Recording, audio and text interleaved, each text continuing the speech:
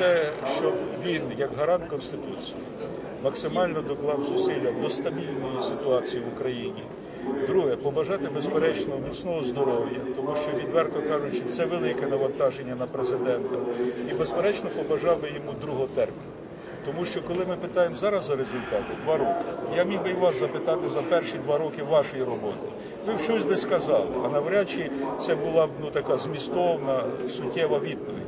Але коли Конституція дає два терміни, і президент починає реформи, то потрібно не просто йти по-українськи, тільки зміна президента зразу відкат назад. А треба дати президенту два терміни для проведення тих змін, які він планує разом з командою, а потім дати оцінку.